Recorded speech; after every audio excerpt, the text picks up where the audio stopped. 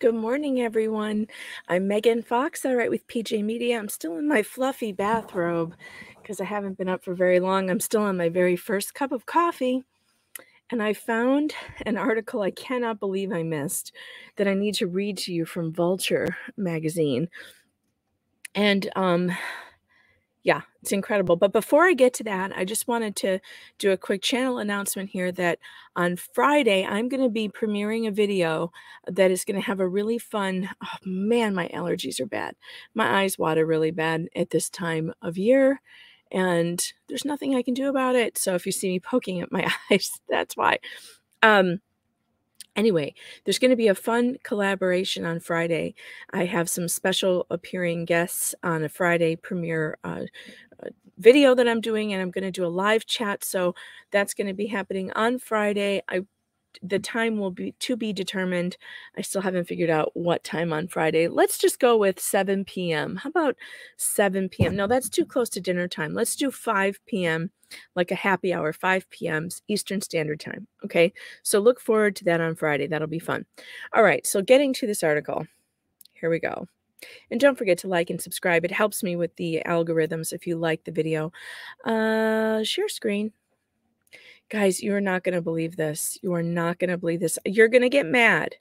You're going to get mad as I read this. Uh, just, just so you know, this is going to make you angry because I'm not even finished reading it. I just started reading it, and um, I'm already mad. Okay, so this was in Vulture by Jackson McHenry, and just like that, writers knew viewers would be Team Steve. This show has always been a bit of Michael Patrick King leans toward his Zoom camera and he tilts his head to the side. Did you see what they said? That's the DNA. King's referring both to Sex in the City and to And Just Like That. It's much debated, contested, memed, and overanalyzed sequel series, which he runs and which ends its first season with a series of events destined to incite more controversy. In the finale, Miranda, against the advice of her friends, gives up an. Okay, again, stop. Stop. Miranda, against the advice of her friends, gives up an internship. No, no, no. Which friend told her not to do this? Did any of her friends tell her not to do this? No, they did not, which is one of the major problems we've had with this show. Am I right? That no one bothered to tell Miranda that she has lost her goddamn mind? No one. So that's your first problem, Michael Patrick King. No one told her not to. in fact, in this scene in the bathroom, which they're picturing here, Carrie doesn't tell her not to do it. All she does is question why she wants to leave her internship, but then she backs off immediately because Miranda screams at her. All right, where was I? I'm losing my place. I'm losing my place. Try see, I'm already getting hot under the collar, and we're not even. I haven't even got to the first paragraph yet. I, I'm only in like the third sentence. um. In the finale, Miranda, against the advice of her friends, gives up an internship to head to California after her love interest, Che Diaz, tells her they're moving. Uh, che is moving across the country. She also dyes her hair, hair red. Charlotte takes over her kids' they mitzvah after Rock reveals she's neither prepared nor interested in going ahead with it. Carrie flies off to Paris to toss Big's ashes into the Seine and connects with Samantha via text message, and it's implied off screen before moving on with the producer of her new podcast, which is called, of course, Sex and the City. All of this, on top of a season that introduced a bevy of new characters, saw Miranda intervene in a Chucky attack on the subway and had Carrie both pee into a cup while Miranda got fingered in the next room and projectile vomit on a date. It's a lot to process, both for the show's audience and the writers once the audience started reacting to the series. They love the characters, King said of And Just Like That's viewers, and that is a blurse, a blessing and a curse. Oh God, he's so full of himself. A blurse. Really, Michael Patrick King, a blurse. So they know that we love these characters, and he doesn't care. He doesn't care. Moving on. In order to understand how and just like that came together, Vulture spoke with some of its writers. King, executive producers Elisa Zaritsky and Julie Rottenberg, who returned to the show from the original series, and newcomers Rachna Fruchtbaum, co executive producer, and Samantha Irby, co producer. The show's sixth writer, Keli Goff, was not available for an interview. she knows better. She's hiding. This article, by the way, came out on February 3rd, the same day uh, that the episode 10 aired. They talked about how and why they wrote some of the key moments of the season, as well as the reactions they expected and didn't expect to provoke. When the writers decided to have Miranda explore a divorce from Steve, for instance, King told them all to put on their seatbelts and brace for a bumpy road. To that he said, In writing something, if it's not dangerous, fast, and a little bit treacherous, where are you driving to? Oh, God. This is that. All right, this is me talking for a minute. This is that um that theory that everything that that you must ruin something you know, you must ruin it in order to make it valuable. And I don't I don't agree. This was a comedy. It was not a tragedy. It was not a drama. It never was. And if my eyes don't stop watering, I swear to God, I'm going to scratch them out. This is just anybody suffering with allergies knows. I've already taken two pills this morning and it's not helping at all. This is why I can't wear eye makeup. Maybe my um my new friends uh, Kate the Great Beauty and um, and uh, the other Cat's Eye Beauty would would give me some advice on how the heck to stop to wear eye makeup when you have uh, allergic eyes. I don't think it works. All right. Big dies via exercise bike. And in Just Like That's first episode, Carrie's husband Big dies of a heart attack after riding his Peloton, something King had imagined as a key aspect of the series from the jump. Michael Patrick King says, The really clear pitch is Carrie Bradshaw is single again at 55. Big had to die. Otherwise, there would be no reason to come back. What? I just can't with him. The Peloton bike was because I wanted to show that at 55 or 65, Carrie and Big are current. Post pandemic, everybody was exercising in their houses. He's not an old guy like you kids today on your Pelotons. He's active, his heart's pumping. It's a damaged heart, but it's pumping. People came into the show going, oh, they're old. No, that's, oh, that's not what we came into the show thinking, oh, they're old. That's what you did to them. That's what you showed us. You you went out of your way, MPK, to make them old as fuck. And they're not they weren't old. They're not old. Our lives are not over because we're middle aged. oh Jesus. All right. Oh, they're old. And I wanted to be like, are they? What's old now? That's all up for debate. No, you made them old AF. Old AF, Michael. that was all you, MPK. All right. Samantha Irby says, in my interview for the show, I was like, Big has to die, right? What are they going to do? I guess we could spend 10 episodes learning all the context for Big we didn't get in the original series. But then Michael was like, he's going to die. And I was like, oh, great, perfect. Don't you love the way these people um, just throw around our favorite characters like it's nothing, like they're disposable tissue paper? Great, he's got he's got to die. Oh God, I can't. And by the way, the reason why they couldn't spend 10 episodes learning all the context for Big we didn't get is because they don't have the talent to do it. They can't even write dialogue for a date scene. So, do you think that they could do anything uh, worthwhile with Big's character? I get I should be glad they killed him off. They killed him off before they could destroy him too. At least Big got to die himself. He was big till the end. Ugh, I can't. MPK says, uh, Your guys are going to love this. The death in the shower felt like poetry on the page. It was like, and then she lifts up his body and the water cascades down the back of her. When we filmed it, it was brutal. Trying to create death in a shower with two bodies getting wet, it was harder to film than to write. This guy is so full of himself and his ideas. Like, uh, brutal. Brutal is a good word to describe what that was, MPK. Thanks for that. Samantha lives via text message.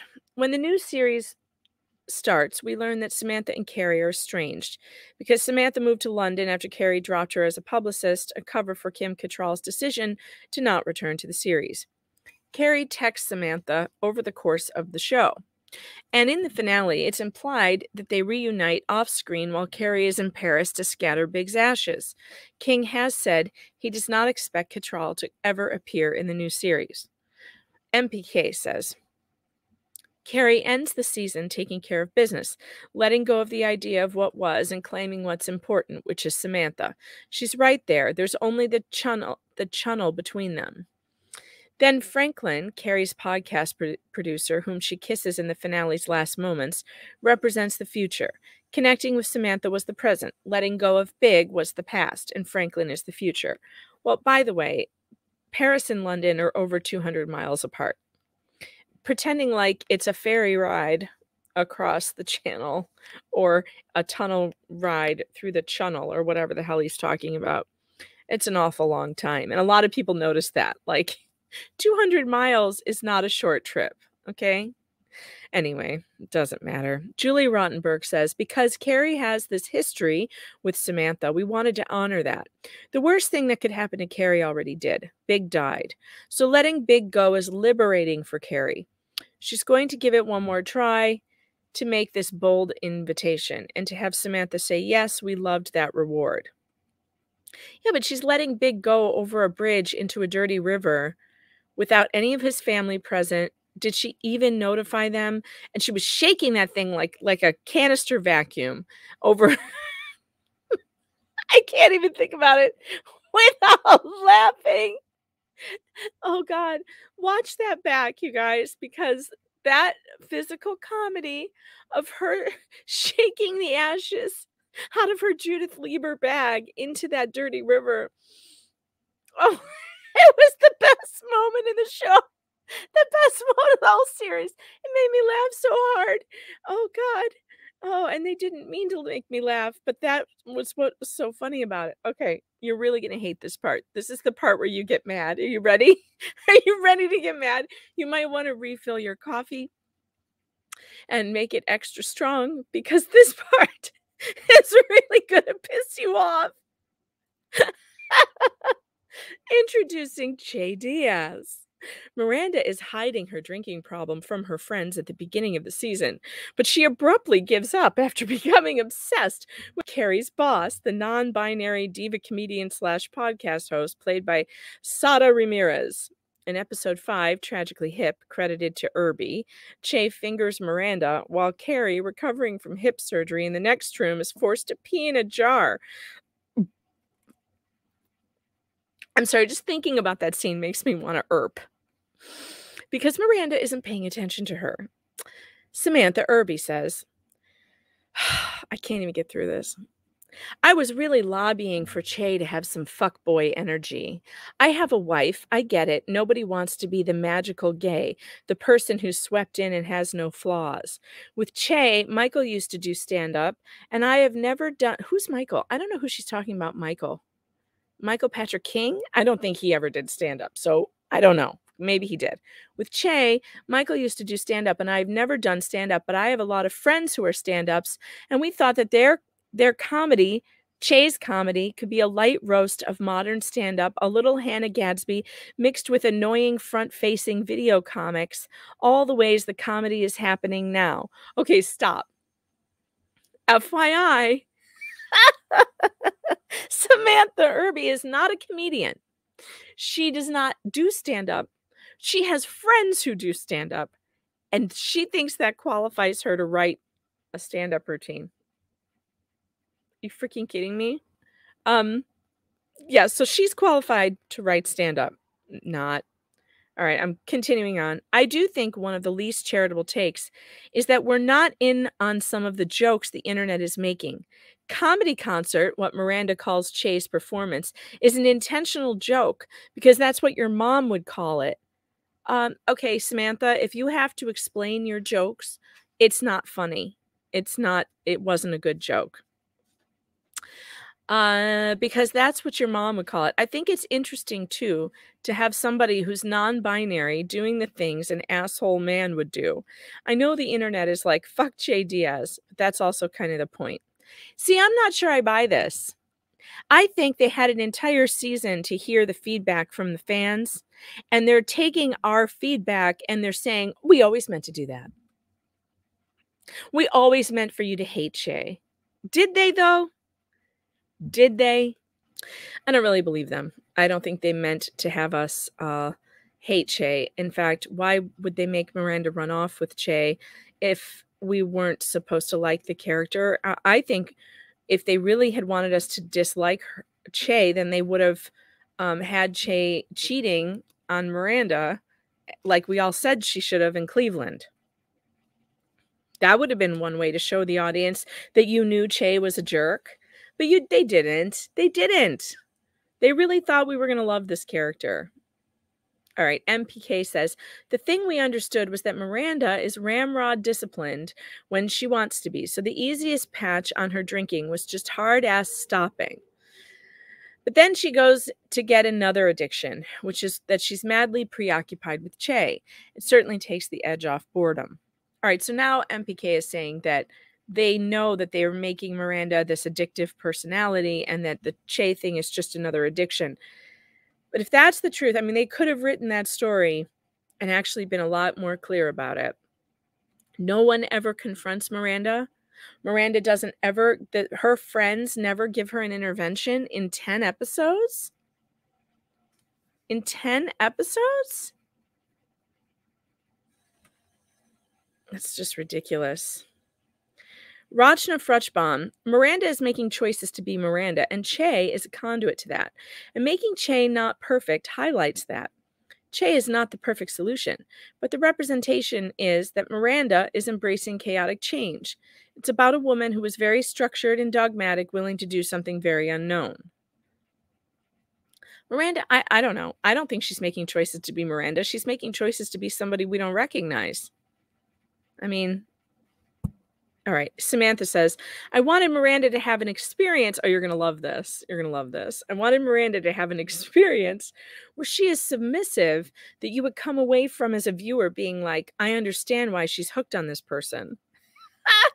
In the script, because Che is like a walking Twitter thread, I wrote that Che is always asking for consent. And then I wrote, did wait, you guys, did you ever hear Che asking for consent? I guess when she was like, Can I shotgun you or whatever? Whatever. And then I wrote that Miranda has a vibrant orgasm. I didn't elaborate. And when I first saw the episode, Cynthia was like barking or something. It was unbelievable. I was glad it was a little bit like, bitch, shut up. I loved that scene and that fight the idea that you have incredible sex that made you question your sexuality and then you immediately have to come down off that cloud and be like i just crossed a terrible friendship line. When sj spit the straw out i was like god damn give her an emmy. These people are so in love with their own writing. So in love with their own writing. Just crazy. Ugh.